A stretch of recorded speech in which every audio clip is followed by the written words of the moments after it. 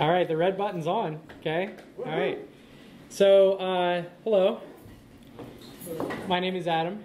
Uh, I don't have internet on my computer, so I'm going to be presenting in a semi-janky way. So I apologize in advance. It's just going to look like a PDF on the screen, but we're going to do our best here. Um, I want to say how awesome it is to be here with all of you, several familiar faces. Uh, really miss seeing all of you. This is great to connect and uh, really appreciate all the the organizers and everybody that you know really just worked endlessly and tirelessly to make this event happen for all of us. Uh, but again, you know, great to see all of you. Uh, glad we're here. Yeah, let's dive in. Uh, so I kind of went through the last couple years with COVID, and, and I kind of got on this like dry spell. I've presented a lot of different talks before. Most of them are technical. Some of them are about management. Some of them are all over the place, security, whatever. Um, and I just kind of like was like, ah, I'm not really, nothing's hitting me. And um, then uh, I was sitting at the dinner table, uh, and somebody on Slack had pinged me and said like you know, hey, like, is Drupal doing well? And I was like, huh, maybe, but I didn't know the answer to that, right? So I actually decided, I'm like, well, maybe I need to try to answer that question. But I also, at the same exact time, I, you know, had read some really silly blog posts that people would make these outlandish opinions about different things, and I'm like, eh, I don't really think that's kind of cool. So I wanted to kind of go the next level deeper of really trying to understand uh, Drupal, right? So I created a talk called Evaluating the Landscape of Drupal Competition because I truly want to understand what's going on like in the world, right? And um, a little bit about me. So I'm Adam. Real picture, by the way. Absolutely, right? Uh, things that I enjoy. Um, really enjoy craft beer. I love uh, hanging out with my family. I enjoy barbecue, like real foodie.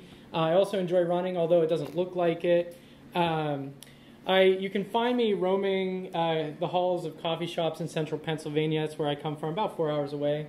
Uh, I actually rent an office above a coffee shop, and I keep trying to convince them to run a caffeine line through the floor so I can just wire it in. They won't, haven't done it yet.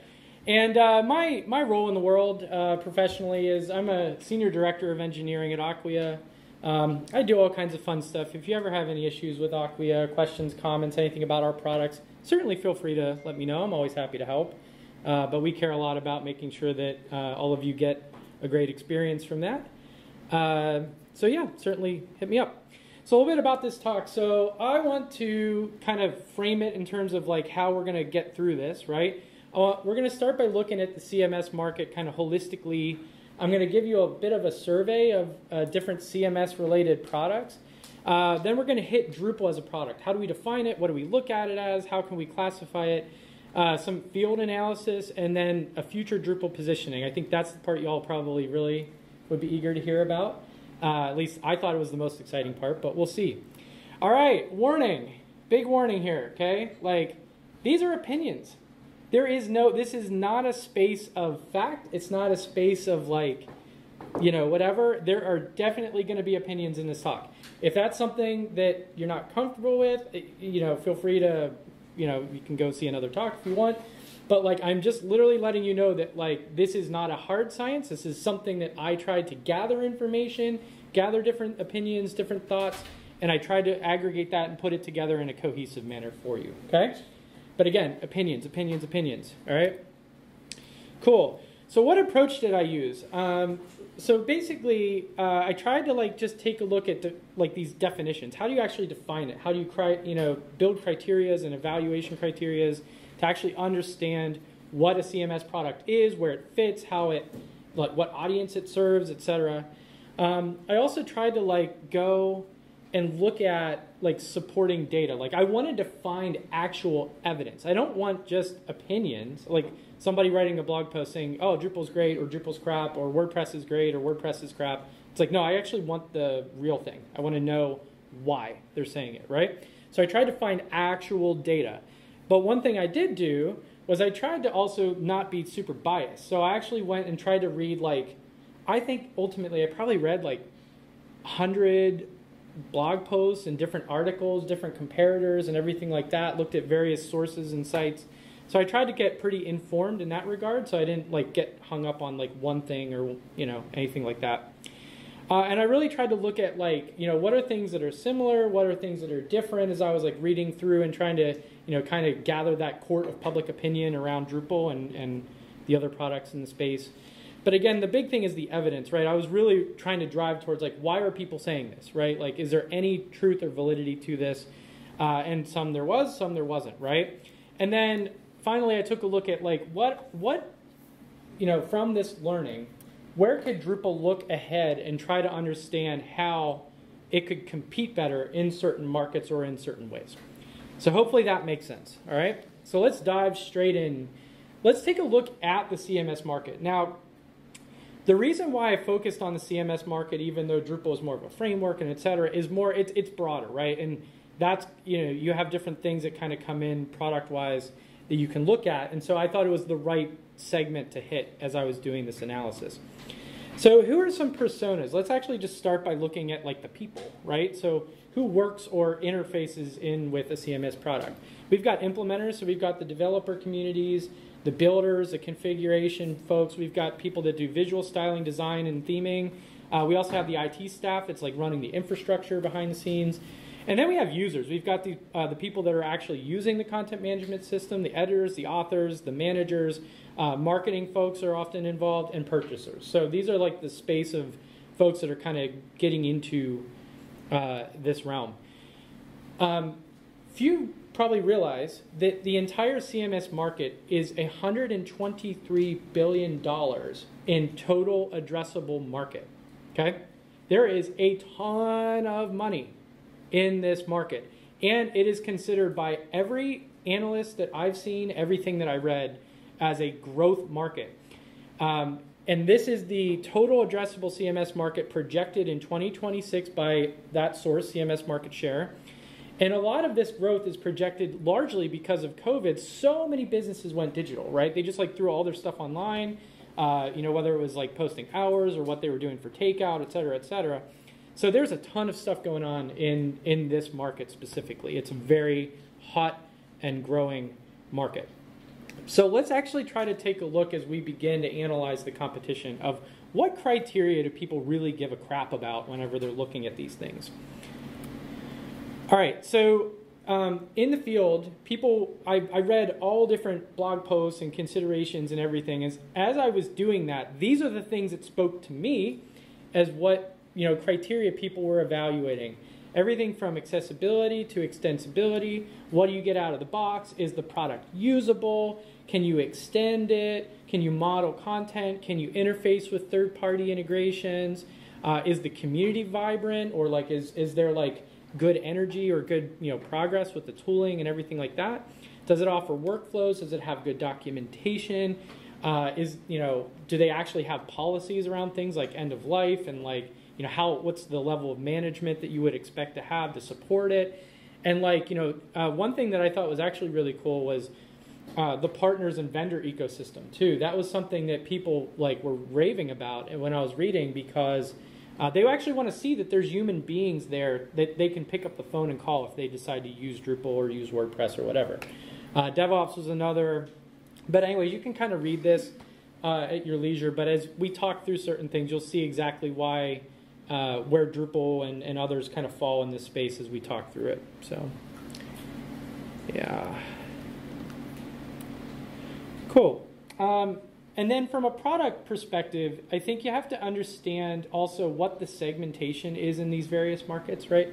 So like trying to understand, okay, like where and how, uh, what segments does Drupal serve? What segments does WordPress serve? Or what segments does Wix or Squarespace serve, right?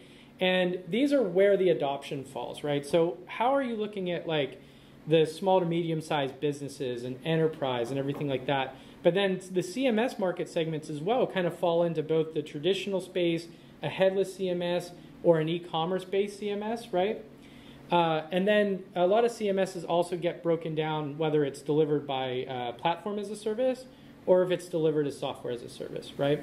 So you kind of have these different segments that you can hit and look at as you're also going through this analysis. One key data point that really stood out to me, and it explains everything if you look at it holistically, is 99.9% of the businesses in the world fall under SMB based on how their finances go, right? And this was reported from uh, the US, and this is US focused, sorry, I should be clear on that. Uh, this is from the Small Business Administration, and the, the definition or criteria is any business with fewer than 500 employees, right? And so three, thir- or 31.7 million businesses classify as a small business in this criteria. And so you can actually see, you know, a little bit of some analysis. I linked to that here. And then if you also compare like a broader IT budget, like let's say somebody's looking at adopting Drupal or looking at adopting, you know, WordPress or a CMS, you have to look at like what are they looking to spend and, and it changes a lot based on the size of the company, right? But there was a really key thing that when I read this article that actually also resonated with me, that the larger the size of the company, the more that they gravitate towards a PaaS offering. Okay, so they actually want something with more code, uh, you know, managed offerings for the infrastructure, but more extensibility, and and they do that um, looking more of a developer persona or like enabling the developers that they have. Um, you know, which focuses a lot on the tooling and, and command line tools and DevOps and things of that nature, right? Uh, than smaller companies. So smaller companies have less budget but they want more value and less management, which falls more into SaaS. So good, good criteria there. So my big claim from looking at some of the you know field business related data is enterprises will go towards PaaS, SMB favors SaaS because it's all about budget, it's all about extensibility and getting value, time to value, etc. So that I think was clearly speaking to me as I was going through and analyzing. Yeah. Um, can you clarify a little bit, because I'm a little confused, so the difference between platform as a service versus software as a service? Yeah, so uh, I consider, especially in the CMS market, PaaS is they give you access to code, but they run all your systems, uh, and then you can, you know, extend. Uh, it's kind of like what Pantheon, Acquia, Platform, et cetera, all those folks offer, right? Um, but uh, the SaaS is more like the Wix and Squarespace. Like you're not really changing the code. You you might be like, oh, here install this plugin on their site, or like, you know, here's a starter theme. Click on that, you get it, and then you just get access to use the the CMS as it is. But you're not extending it. You're not like you know loading in a custom you know CRM system into it or something, right? So. So Acquia is a PaaS, and mm-hmm. what we're doing is here at Prism is, a, is like a SaaS. Right. Awesome. So hopefully that makes that makes sense. But um, yeah, good question. Thank you. All right. So if we're looking at like mapping the criteria that we used earlier in the talk to where these market segments fall, uh, the PaaS experience focuses a lot on customizability, extensibility, and being unassuming. So you get like generic services, but you can do whatever you want with those services, so to say, right? Uh, and then the, the PaaS experience requires more investment, uh, maybe more platform expertise or more technical help to enable that. Uh, but it also can meet or address uh, the enterprise level complexity. So it's actually meant to be extensible by default. Uh, you know, but uh, but it has a lower time to value. If you have to build or assemble or maintain code, you're you're kind of working in a longer cycle to enable a site to be built or developed, depending on your needs.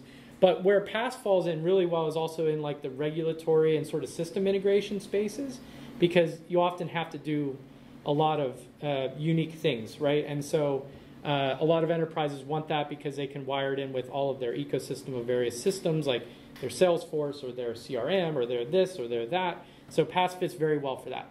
So um, the SaaS layer tends to go much more towards SMB, where they, you know, maybe a small business only wants like a certain set of features, and they find which SaaS offering works for them, and they just enable it, and they can, you know, build a website in 15 minutes, so to say.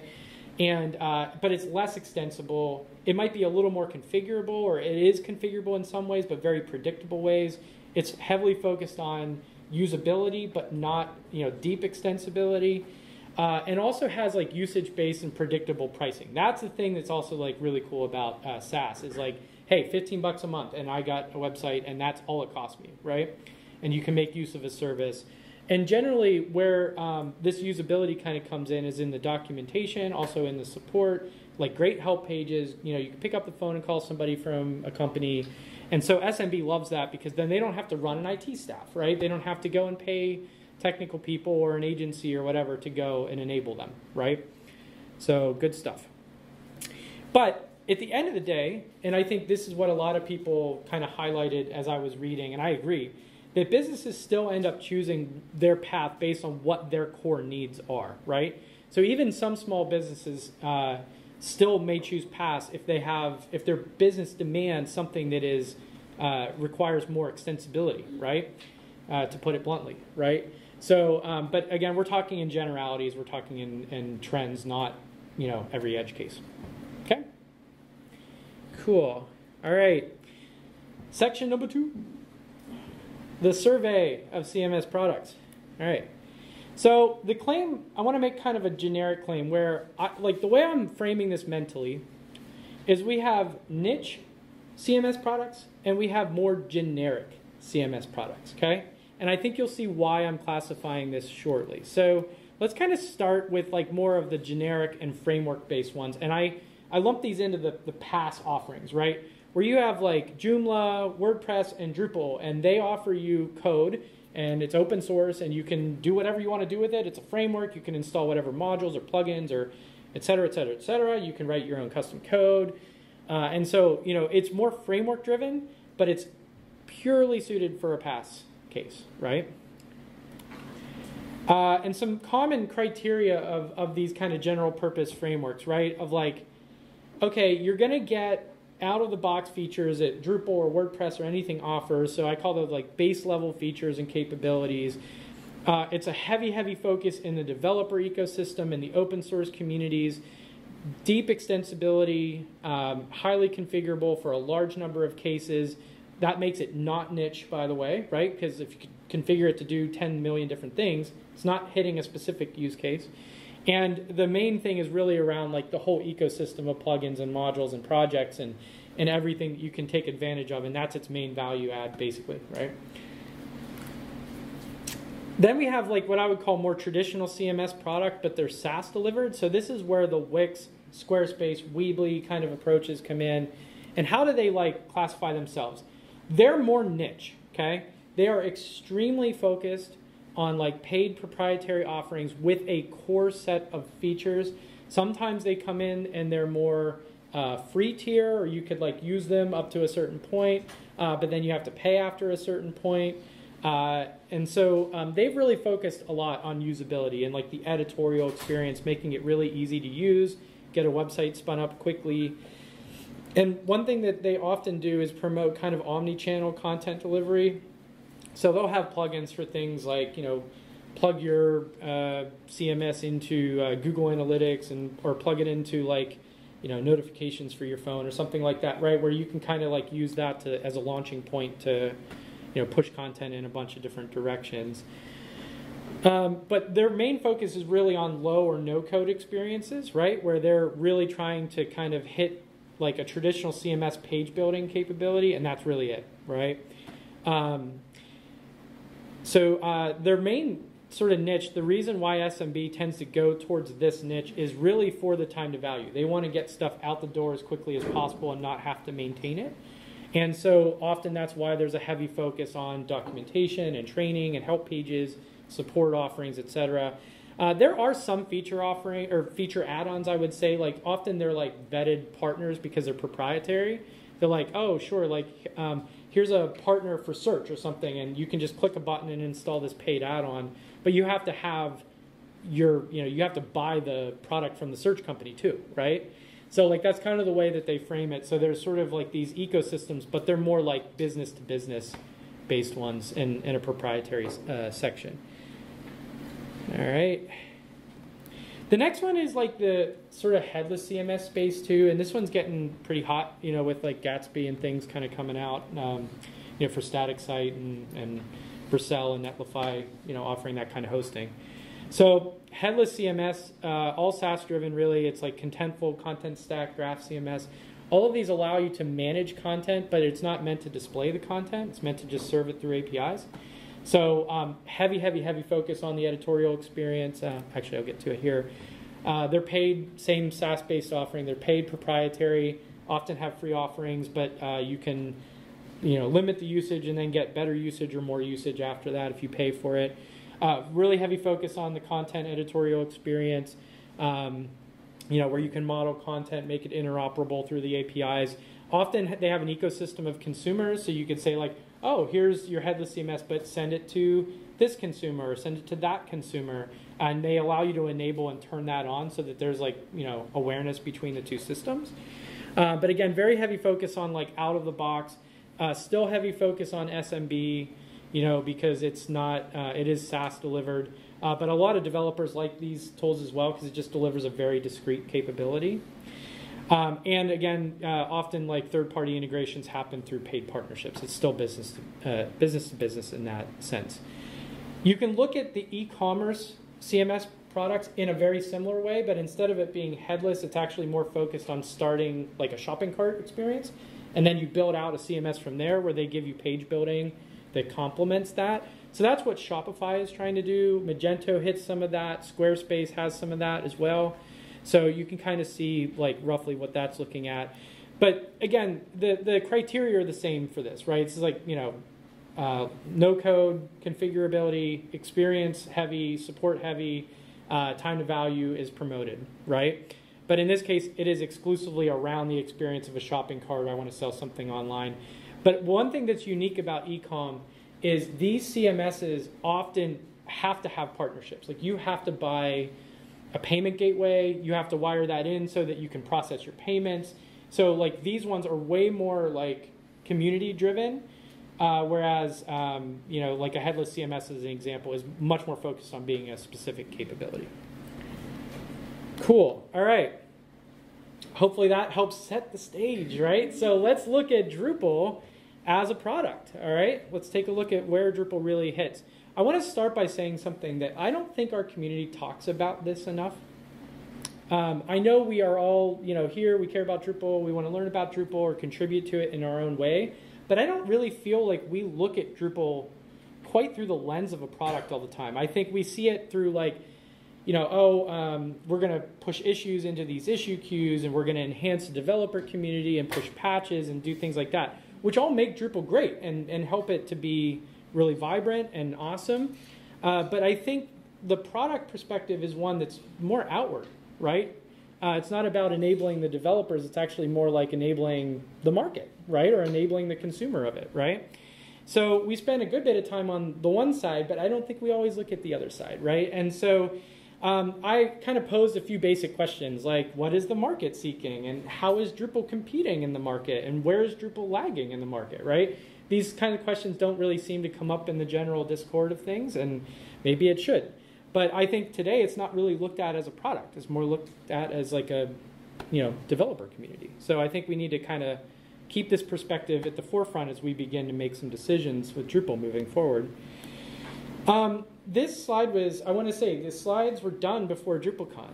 Uh, and I'll hit this up sort of in the last slide that I added a little addendum to this talk. But, but Drupal's product positioning is around what, what was previously called ambitious digital experiences, right?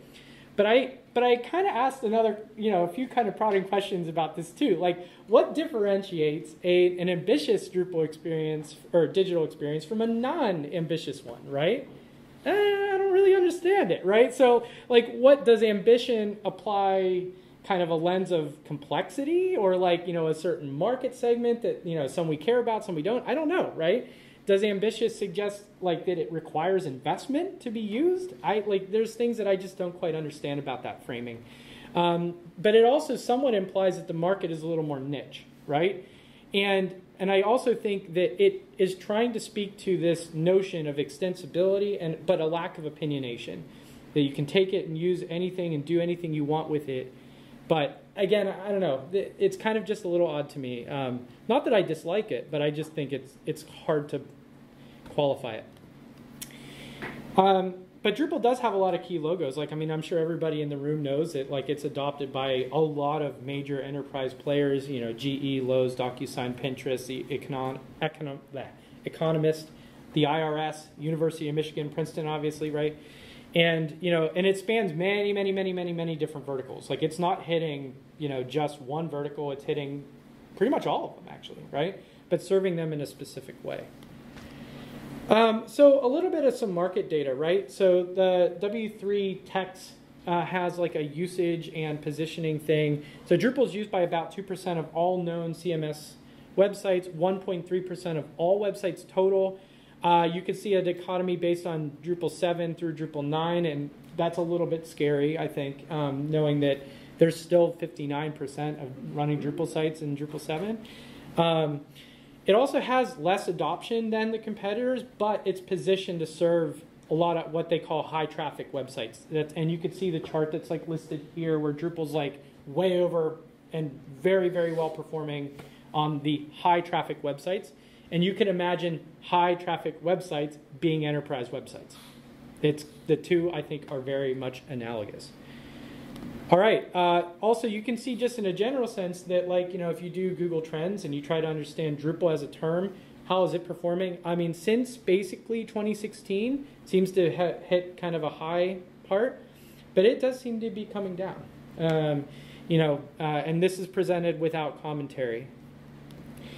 The BuiltWith data also is another lens to kind of break it down based on some of the other competitors that they consider with Drupal.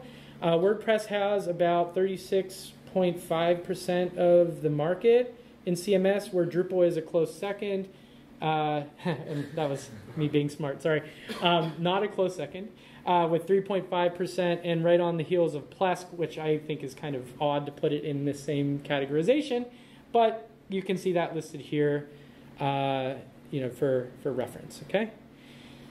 Um, but let's kind of try to summarize Drupal as a product. Let's like kind of hit it now. We've hit all the criteria, we've hit the segments, we've hit the fields, etc. So I think it's strong in enterprise and really strong in PaaS, right? Uh, even though the adoption and the market buzz tends to be trending down, I think it's okay. It's actually still performing well inside of its market, like that it's going after. Um, and it is still it's strong. Like it actually is still you know serving a lot of these enterprise cases extremely well uh, which again comes back to that high traffic enterprise use case. But it does like when, especially when I wrote this, I feel like there's still confusion around what market positioning it wants to have. Like, what is its identity? What does ambitious digital experience actually mean? And it has, uh, I think, the risk to Drupal is really its heavy adoption that's still in Drupal 7 when all this innovation is happening with Drupal 8, 9, and 10 and moving away from that.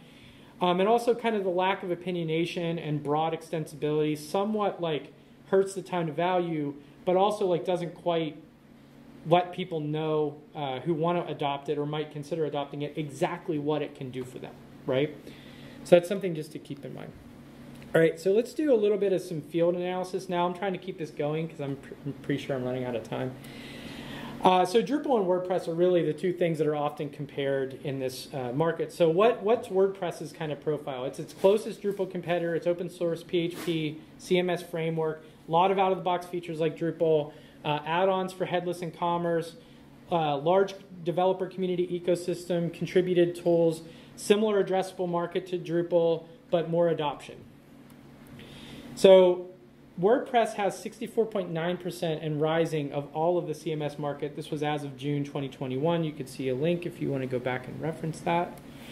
Uh, you can, just to re repeat this slide, um, to we already covered Drupal, but to cover WordPress, it's used by 65.3% of the sites coming from uh, W3Techs usage uh, stats and 43.4% of all known websites. Uh, it has more adoption than its competitors, but it's positioned for low traffic sites. It's actually, you can see it's not quite performing as high as Drupal on the chart, right? Uh, also, just a reminder, of the BuiltWith data, you can see WordPress again is 36.5%. So if we kind of put our court of public opinion on, I read all these blog posts, I tried to understand what's going on. What are people really saying about it? How is it hitting the market in certain ways? Let's take a look. Um, items in I guess, blue on the screen, but it's green on mine. uh, that Drupal really hits a few segments and a few criteria very well accessibility, multilingual, security, content modeling, extensibility, regulatory, and performance. That's everybody said that. Everyone. Every blog post I read, every analysis I read, those things stood out on time and time again. Okay? So that's one way to look at it. Now, where it didn't perform as well was around time to value. Uh, also around uh, updates. You know, people said things like, "Oh, it's really technical," and I always have to like, you know, I need to know Composer, and I need to do this, and I need to do that. Uh, the learning curve for using Drupal, a lot of like Drupalisms, as they say, right? You, have seen that, like, you know, the cliff, right, image before, right? Uh, so, uh, so usability is actually hampered by that. It's not just learning. And then theming, they actually, uh, we'll talk about theming in a little bit, but they highlighted it as actually a downside of Drupal, believe it or not.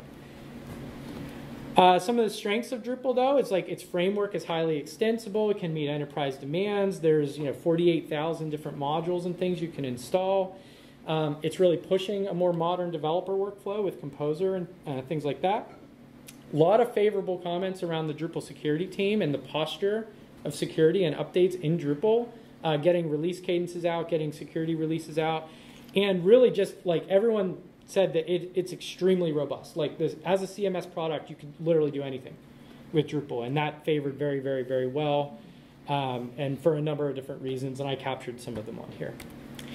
Uh, but some of the weaknesses, like steep learning curve, it's very hard to use. You often have to pay somebody to help if you don't have technical staff that know the product. Uh, you know, often requires development and a heavy amount of configuration. Uh, but the, the number of features actually makes it less usable because you can do so much and you can configure it like crazy. Um, and uh, distribution seems to be something people thought was kind of favorable, but it wasn't implemented the right way, like in Drupal, where it kind of has a lock-in thing. And we'll talk about that with the DrupalCon keynote in a, just a moment. Um, and the one thing that with uh, in comparison to WordPress in particular is there isn't any theming that is highly configurable. Like you can't, uh, at least to my knowledge, there isn't a theme that comes out of the box with Drupal that you can readily change the colors, change the fonts, put your branding in, upload your image, up, put a logo, etc. And that actually hurts because WordPress has it, right? So uh, it's a big area of weakness, I think. Uh, I did the same for WordPress. So looking at it where they said the time value was better, usability was better, theming, like I just said, uh, updates, they said, uh, were easier. You can do that through the UI, uh, and I know Ted Bowman's working on that. Uh, also highlighted the community, but where it didn't really perform was around performance. Uh, the out-of-the-box experience, like people said, was kind of eh, like, uh, and also like security. They said, especially comparing Drupal, like that WordPress, um, you know, because, and I, I can explain why, but, um, and I will, but the security part of it, I think, is misleading as it was presented by people in the world. Uh, and I'll talk about exactly why that is um, shortly. So again, I think, but WordPress is really hitting more of a uh, usability market. It's trying to get more into SaaS. It's hitting like less complex use cases, but it's focused more on that and not on the development side. Uh, the ready-made theming, big big feature difference there. That's the one thing I definitely feel like Drupal needs to try to level up. Uh, there's still like a nice discovery catalog that I think is kind of what like the project browser is trying to do in Drupal, if you're all familiar with that. Uh, but it, it's really focused on removing the jargon and, and, positioning the value and saying, hey, install this plugin and it's going to do this thing for you, uh, which I think people, it makes it easier to install different features. And then the authoring experience, something like uh, Gutenberg was highlighted a number of different times as like a usability win for WordPress. All right, so now let's get into like, why, okay, why is it called less secure? So I have I have a, a hunch on this. Okay, so my hunch is that if you're going after less technical people to use and adopt WordPress, they're not going to update their site as much, right? So the real trick is like you probably have way more WordPress instances that are in the world that just aren't even patched, right? Does that make WordPress less secure? I would say probably not, right? I bet WordPress itself is secure, right? Or at least as much as Drupal, right? Or probably comparable. I would imagine. It's still vibrant. Um, but I think this is this gives it a bad rep, and I don't think it's really warranted in that regard. I think it has a lot more to do with the kind of adoption that it has from from the field. That's my opinion. Okay, I told you there would be opinions. You got one. All right, uh, but it does have like less out of the box features than Drupal, uh, and some of their community has paid plugins, which actually kind of like hurts the open source part of it. Like if you sell, hey, WordPress is open source, and then all of a sudden you have to spend 20k for a license of like this plugin you want, yeah, that's not cool, right? Uh, and they also talked about how both performance and SEO were not strengths of WordPress. That like you know even the plugins weren't that great, or they needed a lot of massaging or a lot of help. Um, so yeah, there's that. All right, let's get into the fun part of the talk. All right, what about Drupal? So where where really should Drupal go to kind of you know help the cause, right? The first one is around empowering the non-developer persona, right? We're so developer focused, but if we want to get more market, we need to go to where the market is, which is this non-developer persona. I really feel there needs to be a usability initiative, like getting way better documentation, way better like experience of using Drupal, hands-on with Drupal, and try to make that something that is prioritized by the community. I think if we do that, it would like lower the learning curve. It would make it easier to use you know, uh, improve the documentation, all of these things, and I think would really, really benefit far more than just the developer ecosystem. And there should be more automated paths from like things like Simply Test Me, which I run, to get that into like a hosted solution or a paid solution that people can have good pathways to get their Drupal sites kind of like moving uh, from ideation the whole way through launch, right? Uh, the one thing I also believe is that Drupal, because of its lack of identity right now, it needs to understand value based marketing. We need to be doing storytelling of why Drupal features help our adopters, right? This is views. This is what views does. This is how you structure content. This is how you can theme it and make these like videos or these clips promoting these features so that people can see, oh, that's how I get value from Drupal. Oh, that's why it's so cool. Oh, that's why it's so configurable. And make it really, really focused on somebody that is not a developer, right? And I think it's super important. Uh, but if you make these like videos really highlighting its strengths and its power and all these things that we all know, but doing it in a way that can sell that for other people, I think that's a great way to get more adoption, uh, to help start people's Drupal journey and get them excited about what Drupal does. My next claim is we need to be more competitive in small and medium markets, right? Automatic updates that Ted Bowman is working on will provide that through core. I think it goes deeper than that. I think we need to go around and look at the DevOps ecosystem and build more automation so that we can have better, you know, less friction and less technical stuff that can enable Drupal sites to automatically be updated all the time without any code, right?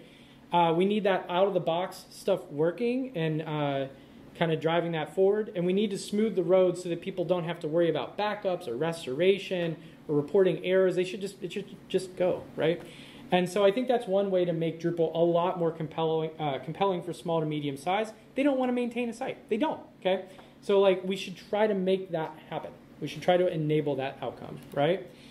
I also think that if you look at the top 20% of all modules, and you can pick whatever number you want 10%, 5%, okay?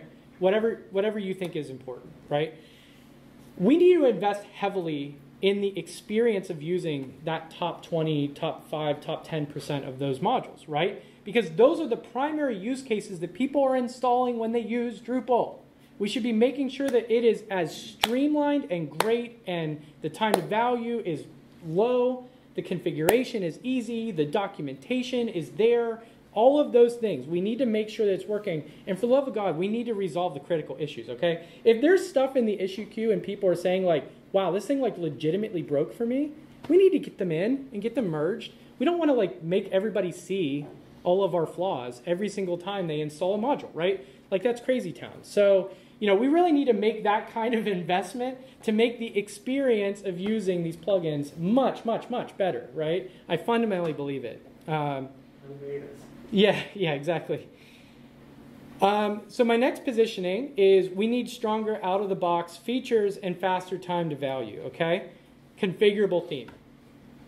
Everybody was raving about this with WordPress. Like everything I read, oh yeah, you can theme really easily with WordPress. Why can't we do that in Drupal? We totally can. We should take Claro. We should take all the great work with Olivero that Mike Herchel and others and Lori and uh, worked on and uh, Christina.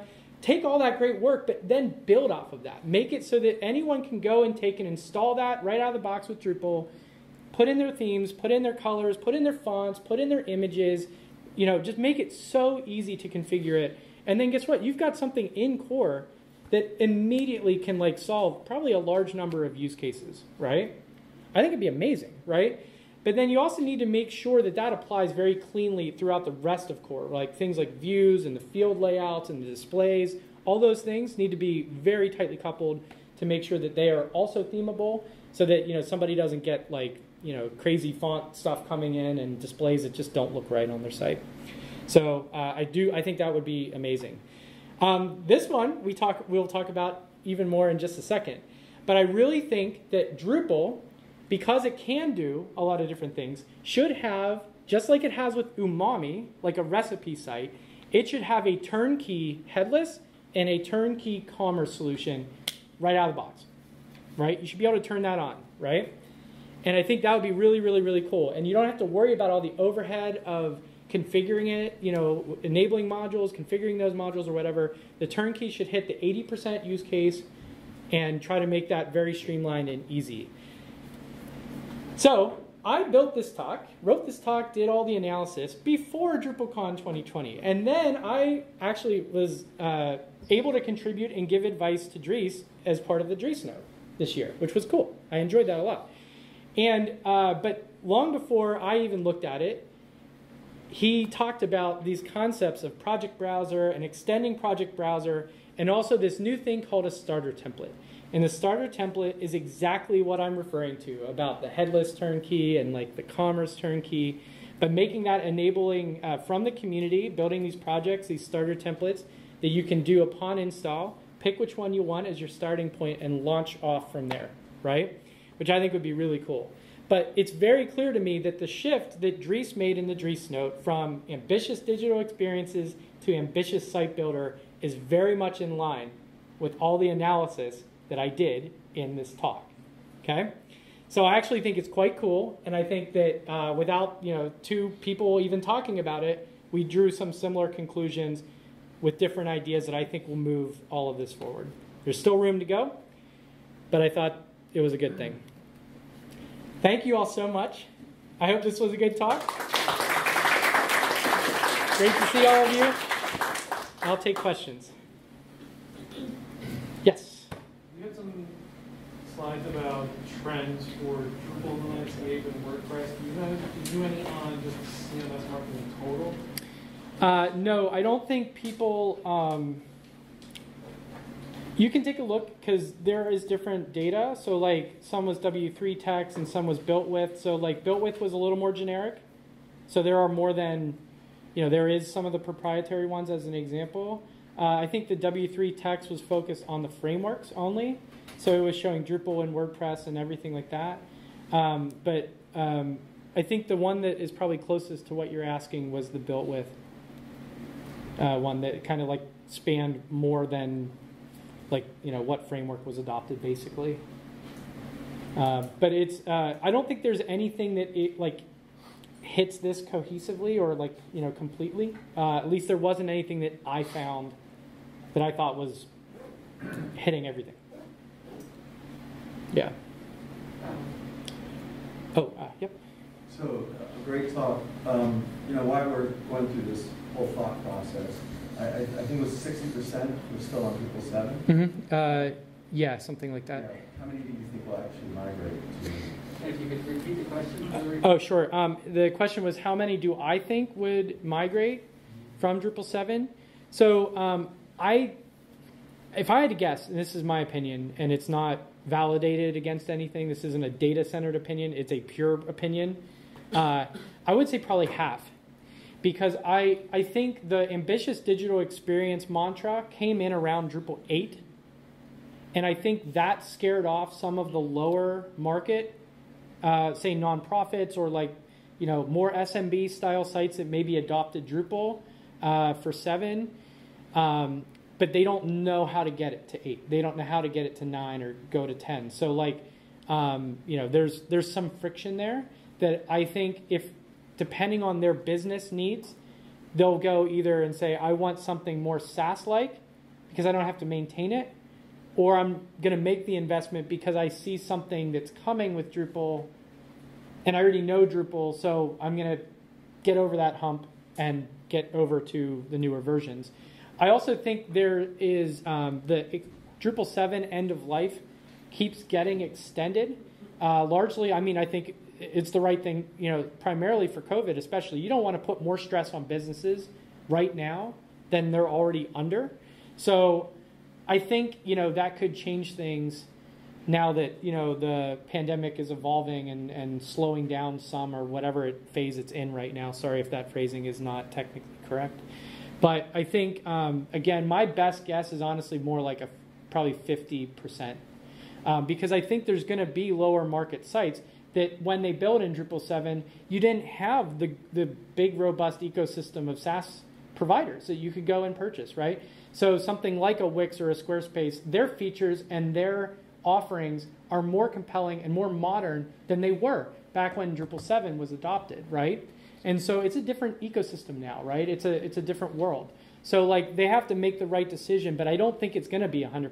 I don't think it's going to be um, you know, it, unless if there's different incentives that come up that maybe help evolve them, whether it's migration assistance or maybe you know uh, better migration tooling or something like that that can you know grab stuff from a site and dump it into you know a Drupal 10 instance or whatever. But you you miss the the theming, you miss the um, custom you know features that maybe people built like the modules right that they coded into their site. So i'm rambling a bit but that's kind of why i'm thinking that. Uh, but again don't take that as gospel. That's like my best guess. And, and you don't think it'll be as equally as high with like enterprise, um, you know, going to WordPress or? oh no i, I feel that drupal will continue to por- uh, perform very strongly in enterprise. I think it's ex- extremely well positioned to do that based on all of the analysis and all of the features and everything that uh, that i uh, that I read about. So I don't I don't see any threat to enterprise at all. Yeah. Yep. At the, at the beginning of your talk, you posited that um, we don't talk about Drupal enough as a product. Yeah.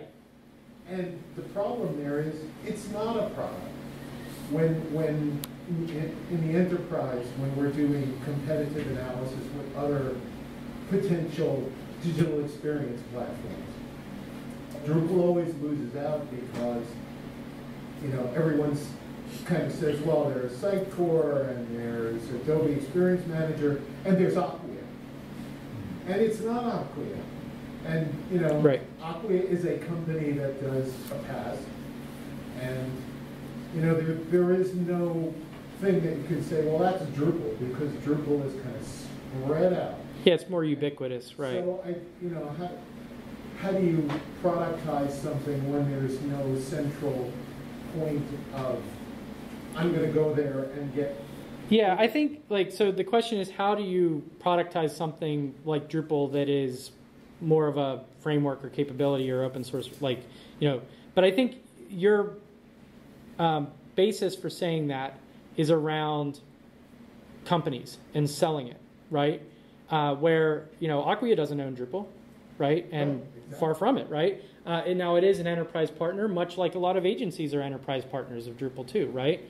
And so um, I think it's different, but I still think you can look at it like a product. And the reason why I'm saying it is product as a discipline is actually looking at things like the market, the strengths, the weaknesses, the analysis, and from that lens alone, Drupal is a product, right? But it's not a paid product. It's not off, you know, it's not like exclusively offered by a company like a Salesforce or a Wix or a Squarespace. So, but I don't think the definition of a product strictly adheres to just who sells it.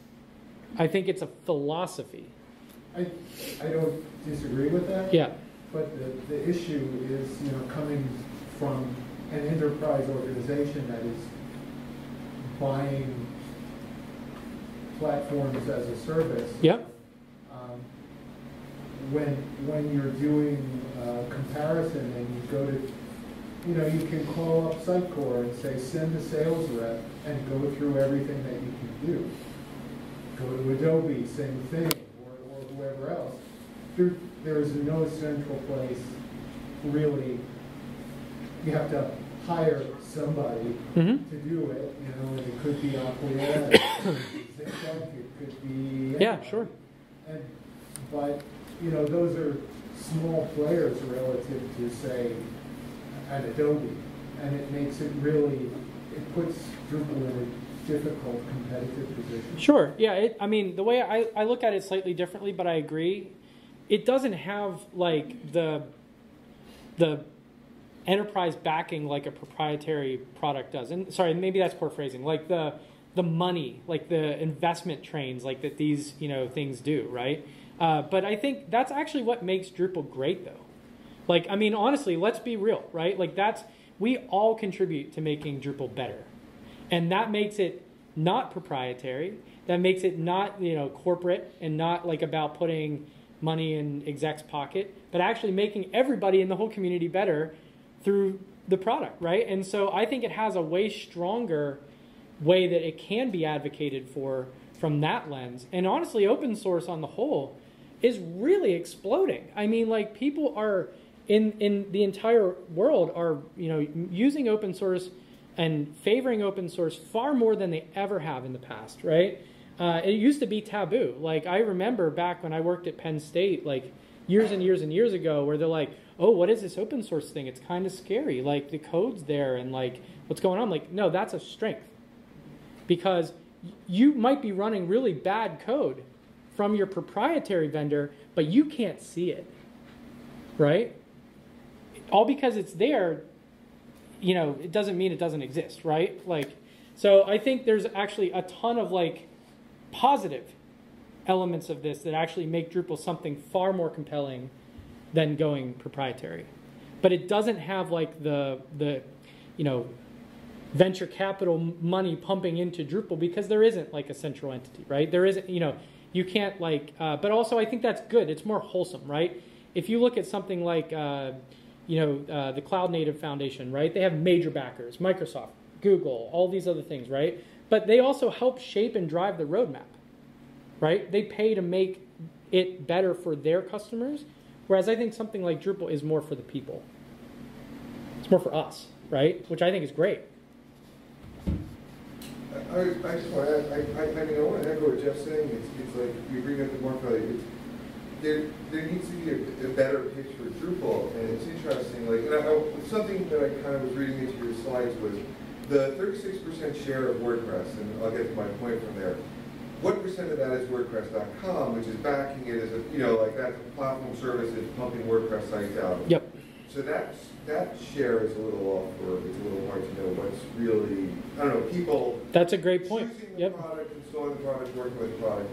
And conversely, I think we gotta own the impact that Acquia has on the Drupal community, because when you put that list of features up there, there's some really key features that Acquia is providing that are helping the Drupal community move forward. When someone wants to build a, a DXP, Drupal's not doing that.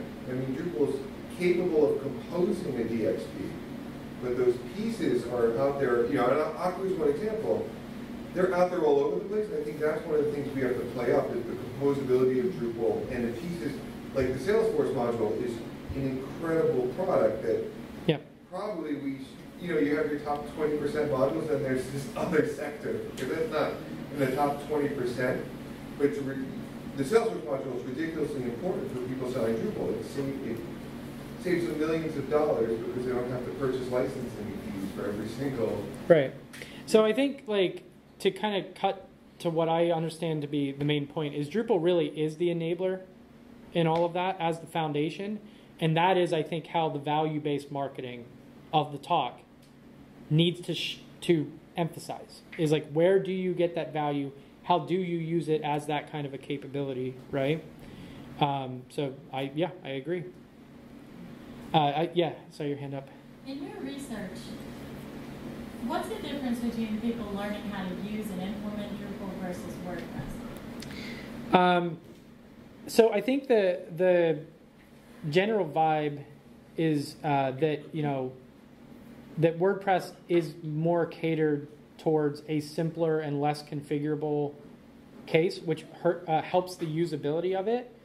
Um, whereas I think the ge- the general thing that I kept reading and hearing is people that made the investment of learning Drupal felt that they got more from it. They actually felt that that was an investment worth making. So that was kind of the positioning I read, like sort of the you know the tea leaves, so to say, from all the different blog posts, because uh, because at the end of the day, when they learned the different ways to make it more extensible, or they learned the different features, they were able to apply them easily and more readily, and in in the future, for other uh, use cases or other sites that they were developing, right? But is that learning still continuing? Like, are there more Drupal developers now, or are there less?